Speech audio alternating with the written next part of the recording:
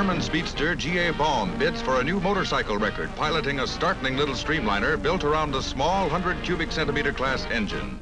Once inside, he's less than two feet off the ground, almost flat on his back, with his feet dangling to stabilize the tiny torpedo. But he pulls in his feet when it's time to start, and with its air resistance cut to a minimum, Baum bullets down the Autobahn over the measured five-mile course.